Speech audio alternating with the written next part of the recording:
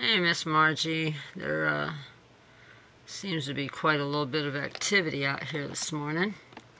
So I thought maybe I'd try and get you a video. Now, of course, the thing is it rained the other day, so there's spots on the window, and I don't really have time to go clean them. So I'm going to try to put the camera in a different place. Now, wait, am I getting a shadow on that? I can certainly see the spots. I don't know where there's the least amount of spots. Not spots. Maybe here. Maybe here. Up a little bit, maybe. Well, angle a little bit. Alright, well, you see you got a little ear corner there. Um, let's, uh, let's see if that gets you anything, alright? Alright, let's hope for the best. I'm going to leave you guys alone. My uh, battery's running dead, but hopefully it'll pick up a 10-15 minute video. Alright, I'm going to go feed Miss Luna. Hi! And I'll be back. Hi!